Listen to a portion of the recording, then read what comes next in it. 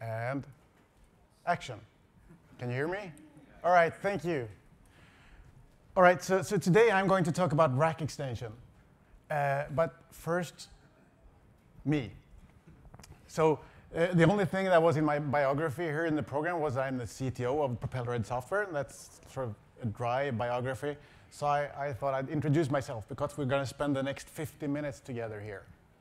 So I started coding as a kid. I've always been coding. Eventually, I thought I'd do something else, I got a physics degree. But I, I just cannot resist coding, so, so here I am. I, I couldn't find any, any use for that quantum dynamics or anything. So, so I code, code, and code. And, and some, then in my spare time, I, I also grow mushrooms for fun. Okay, so, so judging from that reaction, I think we're thinking about different kind of mushrooms.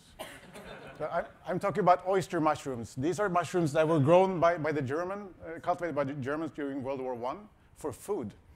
Uh, they get huge, but they taste terrible. Uh, and the, the, beer there is, is for size comparison, although I, I do try to make my own beer as well. Okay, enough about that. That's not really why we're here. We're here about, uh, to talk about rack extensions this talk is going to be very unpropellerheadish. Usually at Propellerhead, we talk about release products. Like, okay, we released this product. It's got these features. You can do exactly this with this product. Or we released an SDK. This is exactly what you can develop with this SDK. Uh, I want to talk about uh, the potential of technology here. So what you can do with technology and be, think a bit forward. Um, so a bit unpropellerheadish. It's a bit uncomfortable uh, please stay with me. First of all, I'm going to go through a background, and then I'm going to talk about the design goals of the technology, this, this plug-in technology that, that, we have developed, uh, how we came up with the technical solutions we have, and then some examples of, of implementations. But, but first, I need to talk a bit more about Propellerhead and Reason.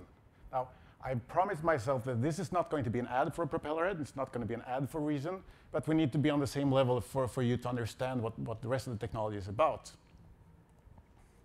So we make a DAW. It's called Reason. It's like other DAWs. There are like a handful or, or two of them. Uh, you can do mixing. You can have plugins, effects, instruments. You got a sequencer. You can do audio editing, everything like that. Uh, the big or the biggest difference is the workflow. So where other DAWs usually have like pop-up windows for, for plugins, we have this virtual rack interface, this physical rack. And uh, what that means that is that you have a coherent user interface for, for all the different instruments and effects. You actually stack them on top of each other or next to each other, you have the same paradigms. You, you, you, you, you can turn the knobs and, and move the faders and everything in the same way. So you, once you learn one, one instrument, you will quickly be able to move on to the next one. It, will just, you'll just understand it. Uh, automation and everything works the same way for, for all of these. And having them next to each other, like glued together, also means that you can turn the rack around and you can do the, the, the cabling. And I'm, I'm sure most of you know about this. But, so we got CV cables there, we got audio cables there, and it's a much more fun way of working than have something looking like uh, Excel, where you say, okay, I want to connect this input to that output. So having this physical model uh, makes all that, all that possible. So this was the state up until 2012. So, so we had been working on Reason for uh, maybe 12 years or something, and we had manufactured all the instruments and effects and utilities you can find in the rack ourselves. There were like 30, 40 of them. Of course, customers always want more, uh, and, and we don't really scale that well. We're only so many people, so we wanted to open the rack up to other developers. All said and done, we looked at the different competing formats, uh, plugin formats, and we weren't really happy with what we saw. There wasn't something that satisfied all our requirements. So we sat down, wrote down our, our requirements, and came up with uh, rack extensions, which is a native format of Reason. This is still just the background. And right now, there are more than 500 rack extensions for sale in our app store, so that it's an app store model from 150 different developers. And to the customer, a rack extension is just that. It's a device that lives in Reason. It looks like a native Reason device. It works like a native Reason device. You have all the parameters, all the automation, CV, cabling, everything that you expect from a Reason device. In fact, all the devices that we have made at Propellerhead since 2012 have been rack extensions. So all the synthesizers and effects in Reason for the last six years are rack extensions. And it should just work for the customer. They should be able to buy, the, buy it, try it, uh, install it, move it between computers in a, in a very simple fashion. And we have different, in its, its, App Store, we have a different models. So you can buy them, you can subscribe to them, or, or you can rent to own. So that's for the customer. And for the developer, there is an SDK, uh, free SDK, and the developer can download it and use it. It's fairly easy to develop rack extensions. And you can sit on a Mac and you can develop uh, for Windows and vice versa, or actually you develop on one platform and it'll, it'll just work on all platforms. Uh, we will distribute it for you and we will sell it for you and we will help you market it. Now, this is up until now, like this very moment, what people thought rack extensions were. Now I'm going to tell you exactly what rack extensions are. So this is the first, okay? You're, you're the first ones to hear it, except from, from, uh, from the people from Propellerhead what can we actually do with rack extensions? First, starting off with the design goals from, from very long ago when we uh, sat down to, to look at this. Okay, caveat. So from now on, nothing I say here, you cannot hold that against me. So I, it's not a proof of anything we're doing. We're doing this, this is just me, a tech guy, working or, or, talking to you tech people, and we're here to have fun, okay? Don't think about products, let's just enjoy this. I'm gonna repeat this. okay, back to the design goals. First of all, move responsibilities from, from plugin to host. When you look at other plugin formats, if I ever say VST, I mean all the different formats like VST, AU, etc., from, from that generation of formats all of those are uh, essentially small applications. You have to think about threading. You have to think about file system interaction. Um, you have to think about how to serialize yourself. Um, you have to think about the user interface. Like, it, it, you probably have like this on draw call, and you have to draw rectangle, draw line, uh, invalidate stuff. All of these things and they're essentially boilerplate code. All the plugin manufacturers, they have to do exactly the same thing all of the time. They have to re reinvent the wheel. Granted, we're here at this sort of JUCE-ish conference, and, JUCE solves a lot of that, and, and, and JUCE is great. We wanted to lift that out, make that the responsibility of the host instead. Why, why ship it with all the plugins? Let's pull out as much as possible and just leave the cool stuff to the plugin, like cool DSP and a nice user interface. And then other plugin formats, they were like black boxes. You could, you could uh, like send MIDI or events to them. Uh, you could send audio to them, and they will output some kind of audio or something. You don't know what they're doing. They could use all the cores on your CPU. Uh, they could send it off to the internet to do something. It could, it could, it could do something on the GPU. We don't know what, it's, what it does. But preferably, we would want to do, know what it, what it does because that would uh, enable us to help it. We could optimize things for it. Or we could do really cool tech things with it. So make it not a black box, but make us understand what's inside of that black box.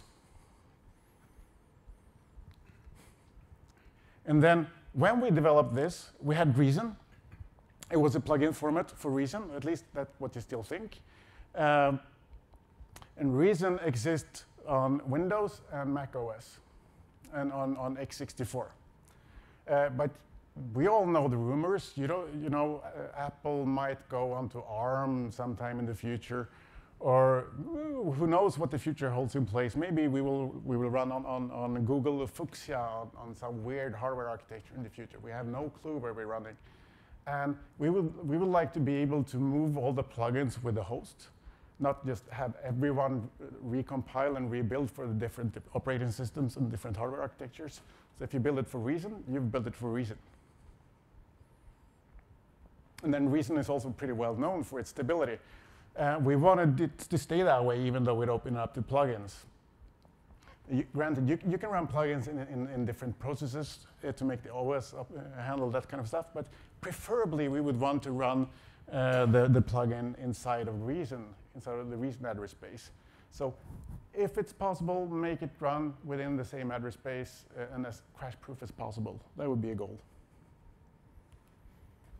And then for the end user, uh, make it easy to, to manage uh, manage the, the plugin. You want to be able to trial and buy and install and reinstall. Your computer crashes, you buy a new one. Maybe another type of computer, you should just click and, and it should just work.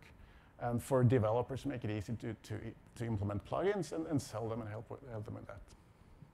The, the last two might not seem relevant, but you will see how they fit into this like a big jigsaw puzzle when, when it comes to the, the technical solutions.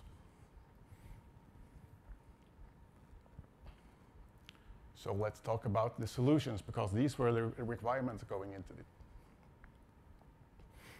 You know, other plugin formats, you write them in, in, in one language, probably C++, probably not Rust.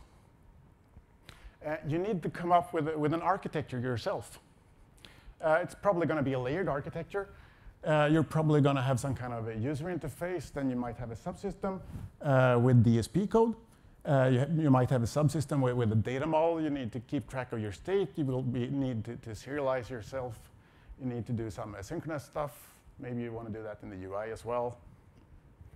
Uh, maybe you want to have some undo history. So, so, but, but you still need to come up with this architecture yourself.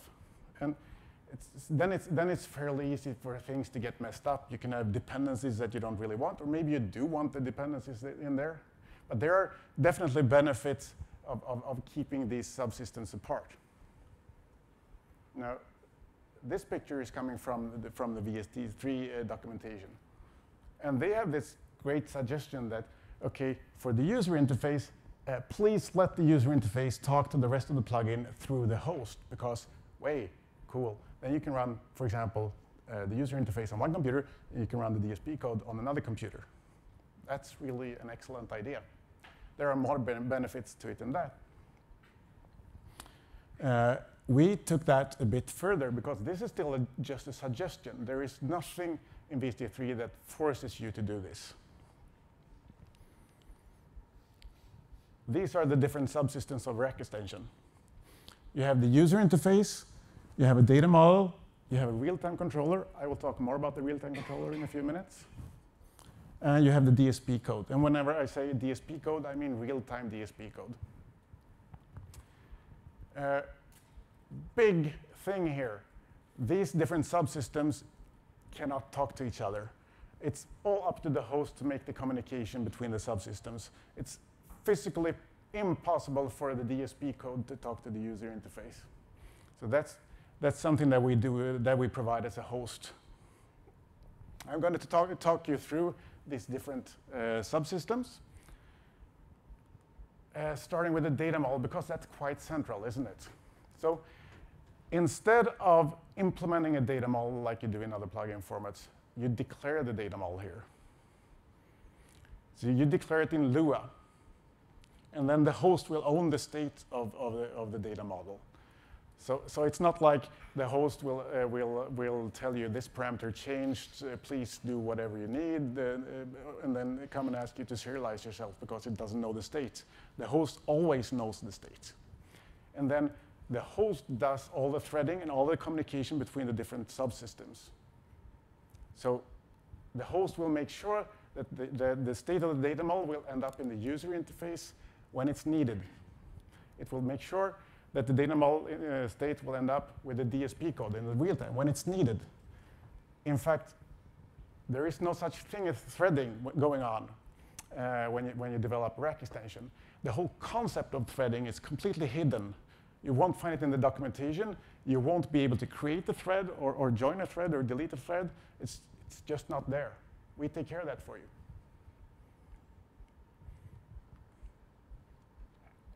And it could look something like this. It's, this is Lua. So you got a sample play uh, property here. It's a Boolean with a default value of false. Oops. Or a, a waveform there. That's, that's a number uh, like 0, 1, or 2. It's a step property. There are a bunch of different type, uh, parameter types here. You could have strings, or you, you could have uh, blobs, or samples, or, or even native objects, which are like if you define something in C or C++.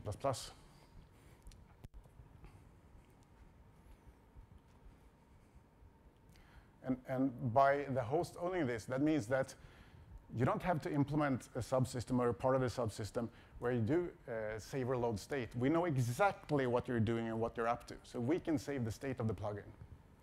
We can have an undo history because we know exactly what has happened to, uh, with the state over time. And we can integrate that with the undo history of, of all the other plugins and, and, the rest of the DAW. So don't worry there. We, we got you covered. And then we have the user interface. It's also declarative in Lua. And it's, it's retain mode. You can, uh, instead, of, instead of having someone uh, implement, okay, draw this over here, draw this over here, invalidate, etc., uh, you just say, okay, I want a knob over here, I want a fader over here, uh, and, and they should change these parameters in the data model. So we maintain the state of it. We make sure it's drawn when it should be drawn. Uh, and when we did this, uh, we didn't know the future of displays. We, we didn't know how large the displays were going to be, and we wanted to make a future-proof format. Uh, they might be high DPI and like 50 inches or something. Uh, so, okay, let's, let's go with, with uh, vector graphics for it you define the user interface. Of course, the extension of vector graphics for, for, the, uh, for the perfect future would probably be 3D. So in the first version of rack extensions we came up with, and this was in 2012, we said, okay, you need to do everything in 3D. Who knows? Maybe you want to run Reason in a first-person shooter, uh, or um, well, or with 3D glasses, or more, maybe more, uh, probably more more likely uh, that you want to want to drop shadows from from a knob onto, onto to the device below. Uh, we quickly realized that not all all developers have a, a 3D model, modeling knowledge. Uh, so we quickly added 2D as well there. It could look something like this. This is uh, an analog knob. The graphics node there points either to a 2D declaration or a 3D declaration of, of what the graphics should look like. So that, that graphics node filter frequency. So look like this. When you change this, uh, this knob, when you turn the knob, change the data model property filter frequency and, and pay special attention to analog knob up there because uh, analog knob uh, that defines the behavior for the rack extension host. The rack extension host knows exactly what an analog knob is. Uh, so there is no like, uh, it doesn't know about click or click drag or anything. That's up to the host because on Windows it's probably going to be click, drag, click, drag. But if you're running this on, a, say, a tablet in the future, you, well, who knows what, what, what the interaction model would be. Maybe it's like you want to touch the device, and, you, and, and when you touch, touch it, uh, the, the, the widget would move to the side, and you could swipe up or down, and maybe you want to turn the finger in, in circles or something. Uh, that would be up to the host developer to, to implement to, to get a common behavior between all the plugins on that particular host. We don't know exactly what it's going to run on. So the, the plugin developer doesn't really know about the interaction model. That's up to the host. And then we get to the real-time controller. You can see that the real-time controller is sitting in, in between data model and DSP, and that's because it's there to facilitate communication between data model and DSP. It's there to transfer the data model and massage the data model so that it, it's available for, for real-time computa uh, computations.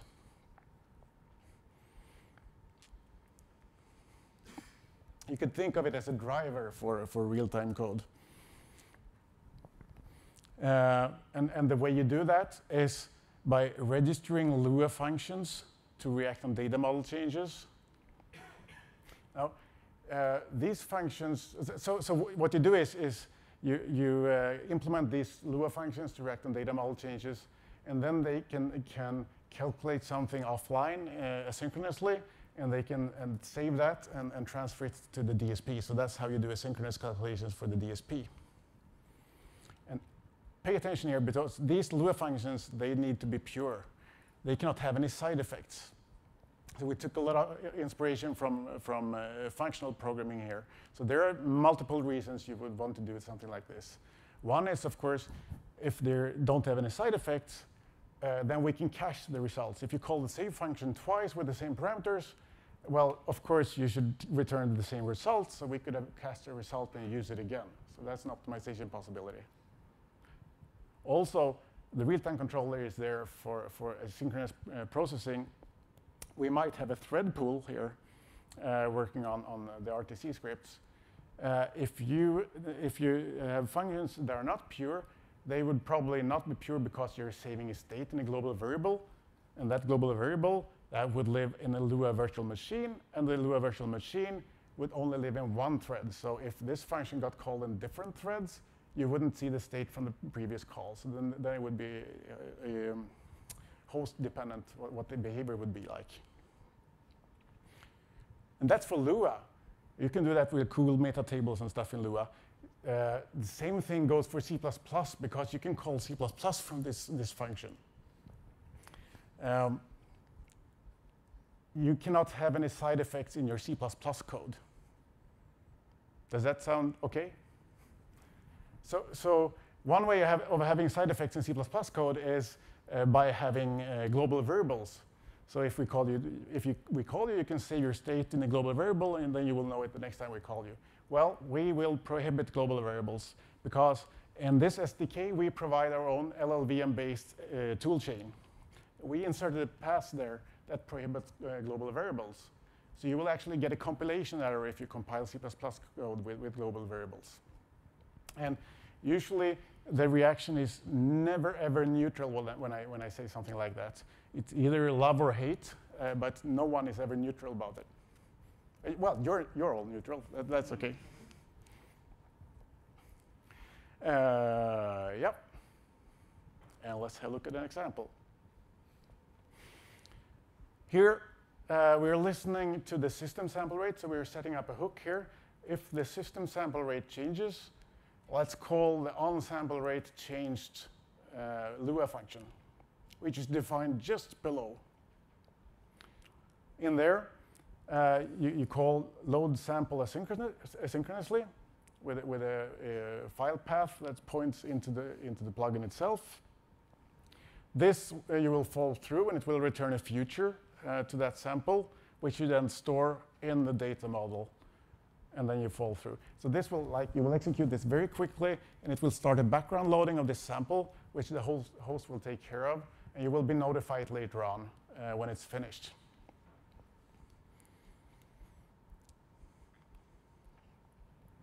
And then we have everything prepared for the DSP code.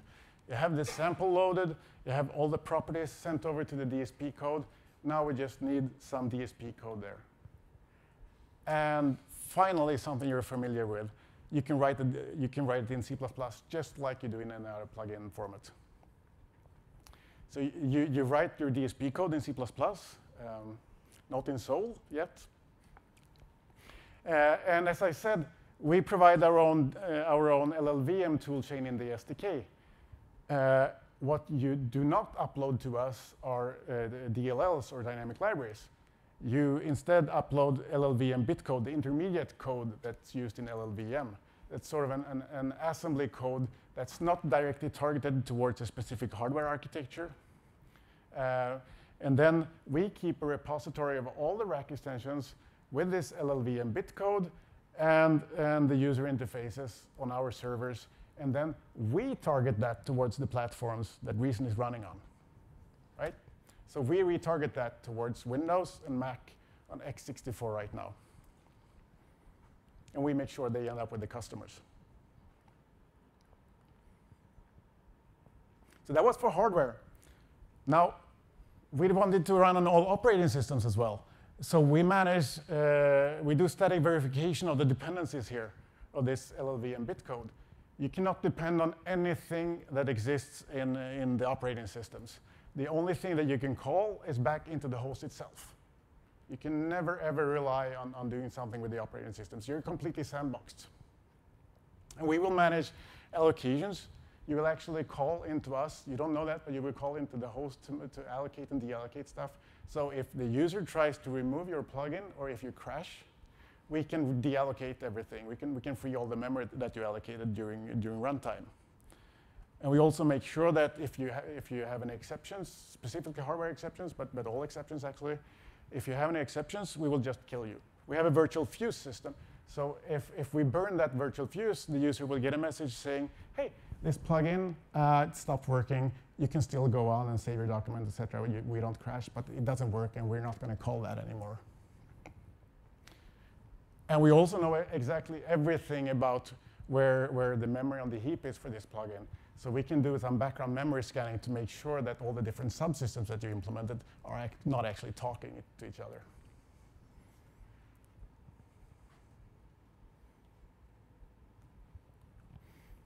and for distribution. So now you already know that we have a central repository of all the plugins ever made, because that's an essential part of being able to move between platforms.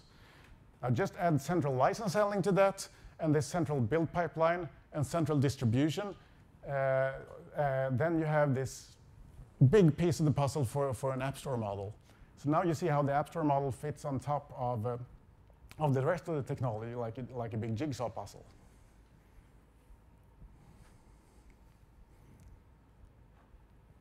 Okay. So it's quite obvious by now that, that this has been a reason. It's been a reason since 2012. That's quite a long time ago.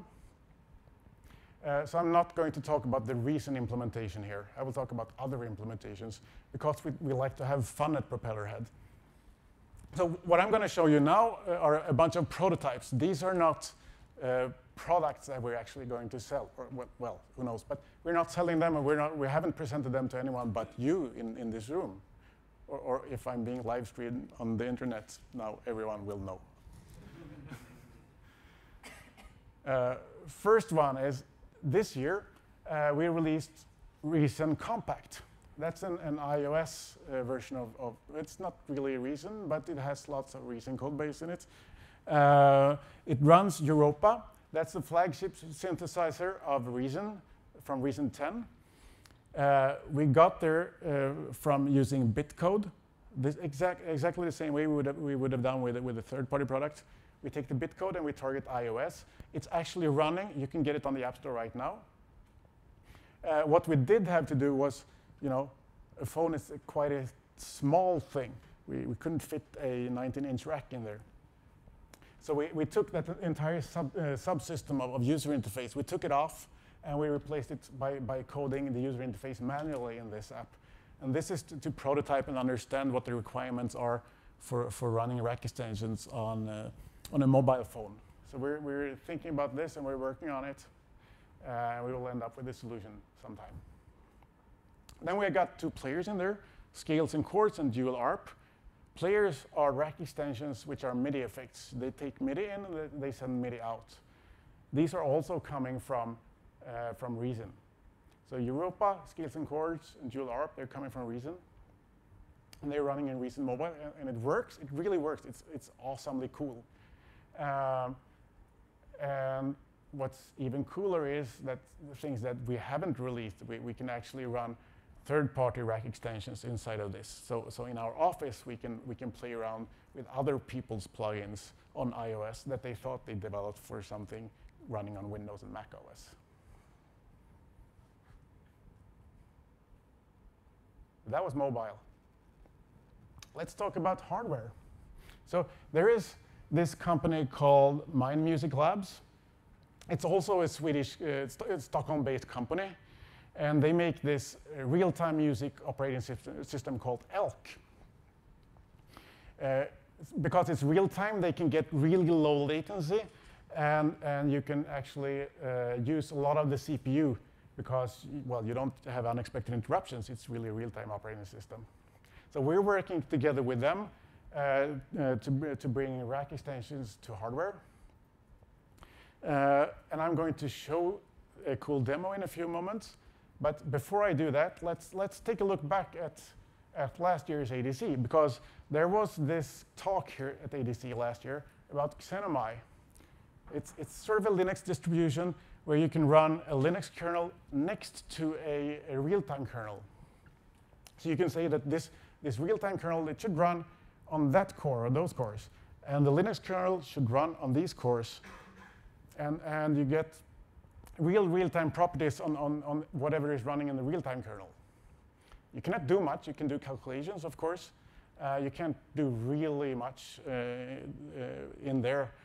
Uh, though uh, the cool thing with, with Xenomai is that you can have an application with an address space that spans both of these kernels. Does this sound like a fit for, uh, for rack extensions? I already told you that the DSP here, it doesn't have any dependencies whatsoever to, uh, um, uh, to the operating system. So that, that could definitely be a fit. I also told you that the communication between the different subsystems are implemented by the host. So we could, of course, implement that in a way that works on Xenomai. And then the data model and real-time controller, things that actually need to talk to disk and, and do other things in Linux user space, well, it could do that because it can run in the same address space, but inside the Linux kernel. Now imagine there is a Stockholm-based company uh, making an operating system called Elk with very similar traits to what I just showed you. And uh, imagine that I, I brought a, a demo of this. So, uh, oh, I didn't say anything about hardware. Uh, we've been prototyping together with Mind Music Labs. Uh, we got this up and running on Elk, on uh, Atom-based boards, and also on ARM Cortex-A7 boards, which is pretty cool. So we could actually take code that was meant for x64 running on Windows and Mac OS and run it on 32-bit ARM Cortex-A7. So inside of, inside of this extremely cute box uh, with pink roses that I stole from my daughter's room just before coming here, it was actually a perfect fit. Uh, I was looking for a box anywhere in the house that, that would fit this hardware, and this was it. So, so on two-thirds of the talks I've, I've, gone to today, uh, they've been talking about, no, well, I, am going to do a live demo here. Uh, but none of them brought hardware that wasn't connected before the talks. So I'm Thank you.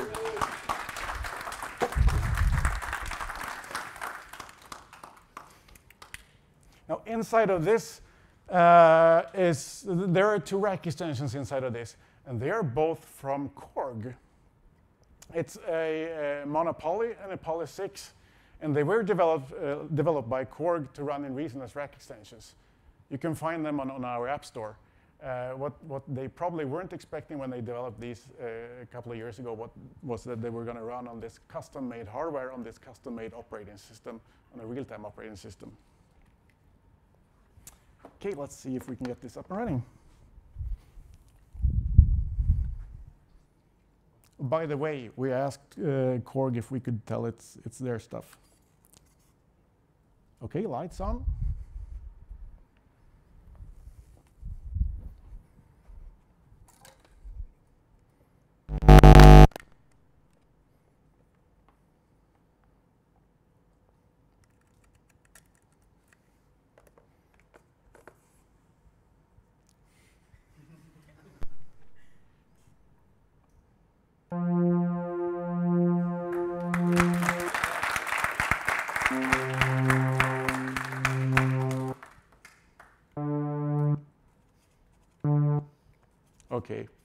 This wasn't a good idea after all. Let me just reboot this thing.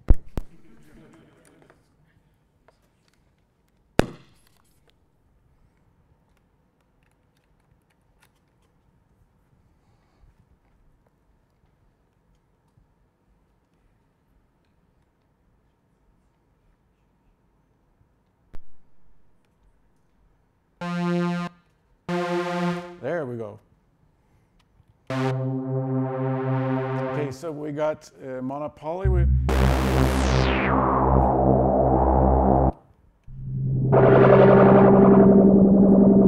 So it has it, it, can load the same presets as it does in Reason. Uh, let's see if we can get uh, this uh, thing sounding uh, sounding a bit differently. Let's uh, take the Polysix.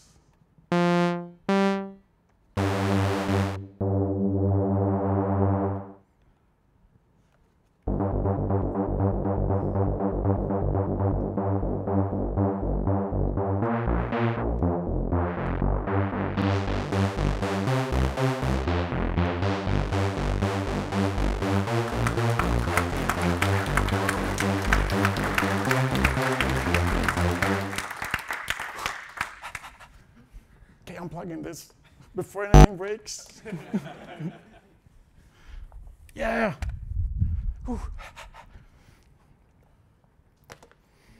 Thank you. Okay, let's move on with this. Um, we already did the Showtime thing. let's move on to another platform. Let's talk about web. So there, there were uh, two, uh, two talks about running, running audio on web just before this in this particular room. Now, what is a web browser? So it has a retain mode user interface. It's sandboxed. You cannot access uh, the operating system at all. It's really, really, really sandboxed. Nowadays, it can render uh, real-time audio using Web Audio API, and it has its own architecture, which is called WebAssembly, uh, WASM. So does this remind you of anything? So six, seven years ago when we were working on rack extension technology, we were like joking to each other, maybe, maybe we could run this in a web browser, maybe in the future, maybe, maybe, and then we started laughing and we drank beer. well,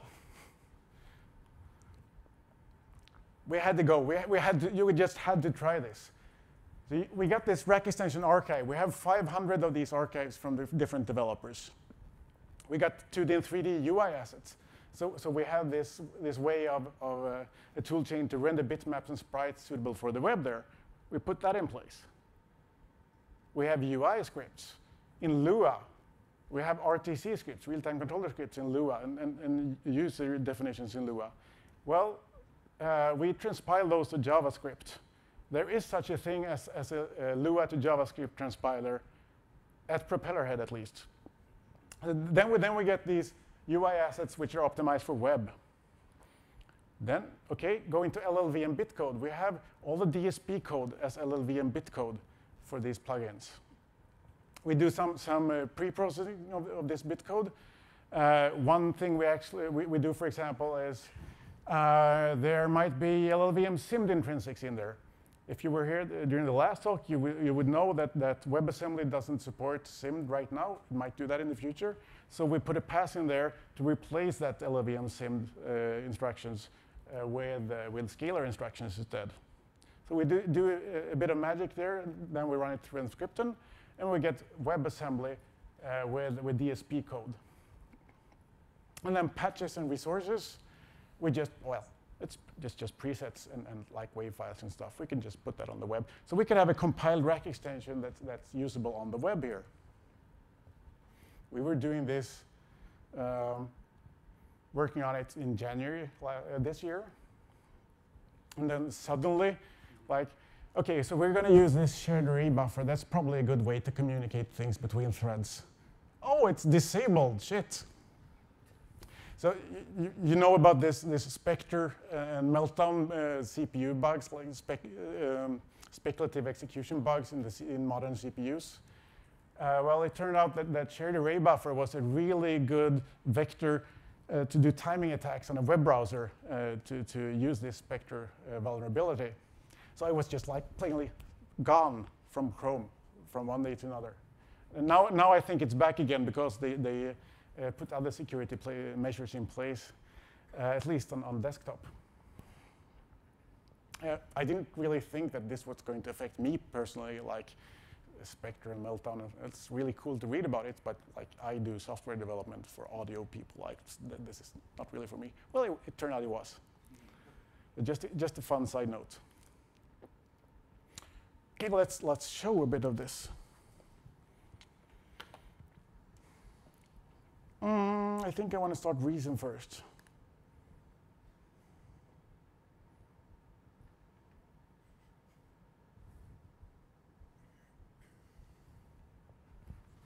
And connect the audio.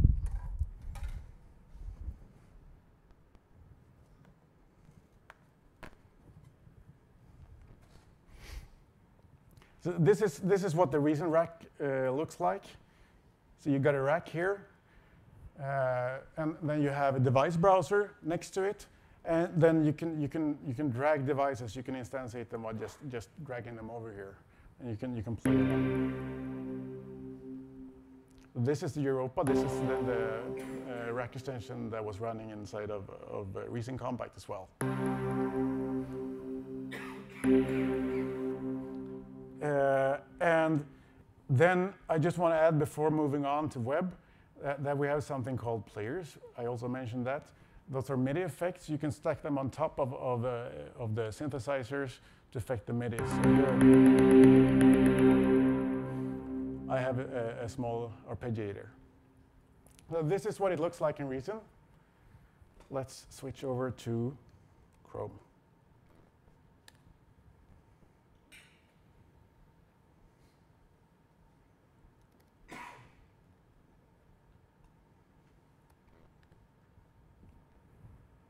Did you see how fast that loaded? So we're not, we're not really looking at Reason compiled through Emscripten to run in a web browser. This is a really thin uh, rack extension hosting for the web. It's web native. It's, it's really just web and nothing else. We don't do any, any weird things in here. And over here, there are a bunch of, of rack extensions that we compile using this toolchain because we can mechanically move all of these 500 rack extensions to any other platform. So we, we took a few of them and, and moved them over to the web here. The first one here is Europa. Does it look like something you just saw?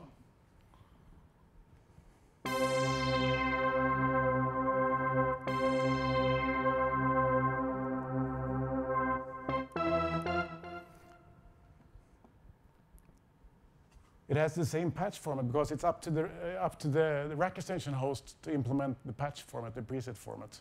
So we could imp implement the same one we're running in Reason, and the same one that we were running in this one, uh, in the hardware over there. So you could you could potentially uh, have all the content as well. Let's pick pick something.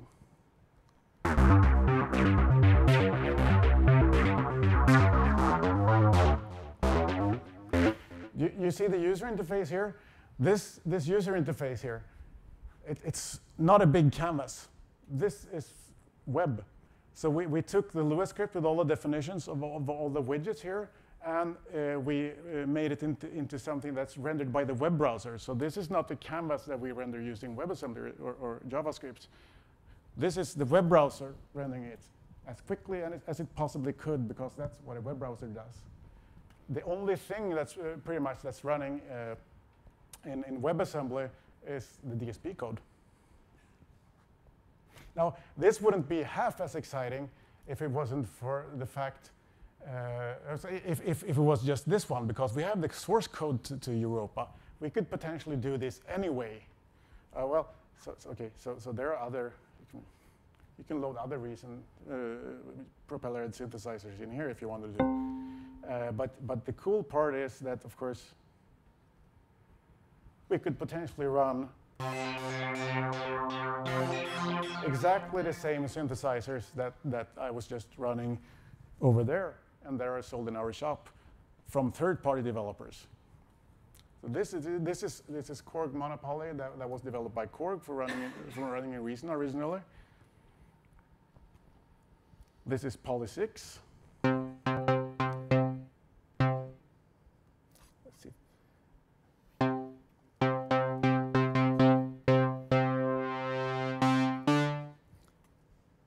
And the players here, the MIDI effects, they're also rack extensions. So they could potentially be used the same way, right? So you could hook, that, hook them up in a render graph.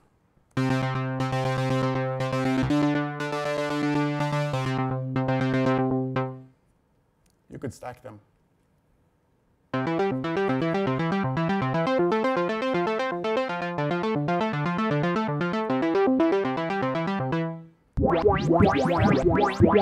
with this weird sound, with this weird sound, uh, I just want you to, to imagine this, this fact that we have 500 plugins from 150 different vendors that we can make run on pretty much any platform you can imagine, now and in the future. And then I want you to stop imagining that.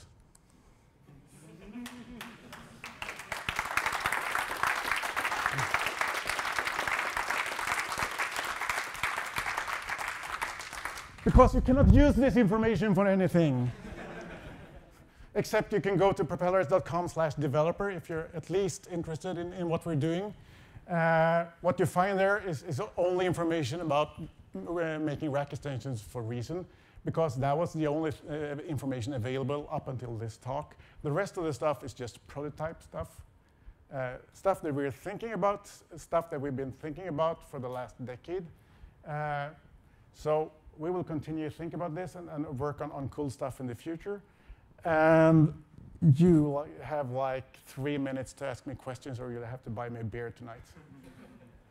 yeah. Yeah. Uh, I don't think I need a mic, right? Yeah. Um, oh, sure, why not? Hi. Uh, first of all, thanks. Great talk. Um, I think most of the portability is because of the very clear, distinct, uh, yeah, separation of concerns, well thought out, uh, as yeah, as I, have seen in this uh, presentation. Um, can you tell me some problems developers had in the uh, past with the real-time controller? Uh, what type of work mm. is done there? and what issues did people come to you with uh, uh, regarding the pure functional uh, aspect of that? Uh, the, the, the, large, uh, the most number of problems people have had uh, is if they've had a large code base that, that with, with, lots of code that wasn't pure, with lots of side effects, and, and that didn't have all these strict boundaries. So if you had this like VST with blurred boundaries I showed in the beginning with, where you had dependencies, then, then it's a tough, tough task to move to rack extension where you have these boundaries and we really we enforce all these strict rules just to be able to do all this cool stuff. Pe people didn't know that. So when, when we came up with this, this technology, they were like, oh, this is really super hard. We don't understand why you're doing this. And this is why. We wanted to make it strict because then you can do cool stuff with it in the future. But, but uh, yeah, uh, mostly people who wanted to port existing stuff that didn't uh, uh like the architecture didn't work well with, uh, with, what we were doing. Of course, if they did something nice with good architecture, it would have fit directly.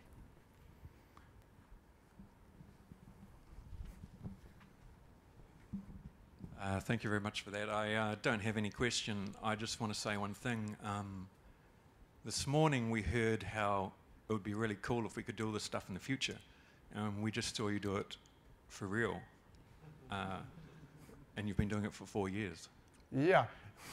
so, so this is like six years. Six years. um, so I, have been really eager to tell you all this for a long time because like we've been doing this uh, in, in the hidden. Uh, and it's, it's, at Propellerhead, we don't really talk about this, uh, about the products or technology except the things that we have released. So this is a new for us. Uh, we're, we're just trying new grounds here. Hi. Um, first of all, great talk. That was really cool. Um, quick question to start off, if possible. Um, is there a name for that hardware device, device you've just showed us? Or is it purely uh, speculative just yet?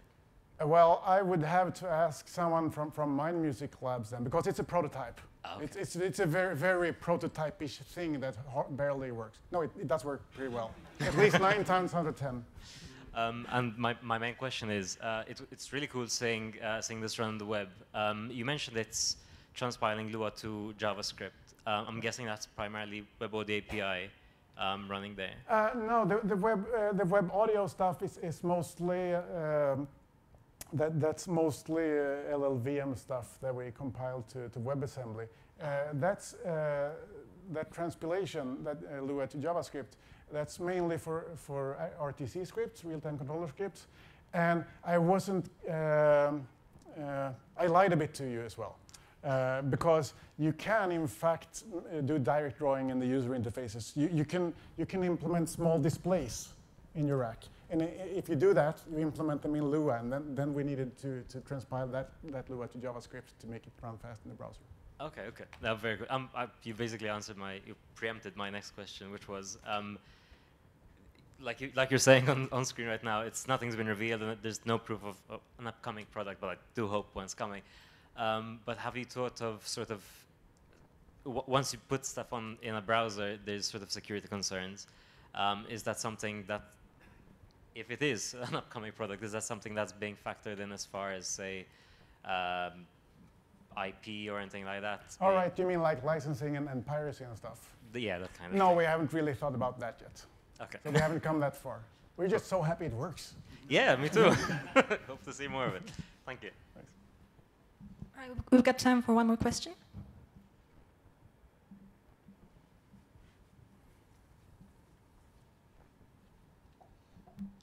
Hello. Uh, we are convinced this is uh, really a great format, uh, but unfortunately we also need to support other plugin formats. So is there any kind of uh, best practice, let's say, to do cross-platform development uh, with your format and other format? How, how do you handle uh, the, the need to support other plugin formats, given that you are so different? Yeah. So what I would do right now is I would start building a rack extension first, and, and then I would uh, I would try to make that into another format because we are the ones who are the most strict. So you can take our architecture and, and build it into other formats, but you can probably not start somewhere else and try to port it to a rack extension. That, that will make it more cumbersome. So, so start with rack extensions.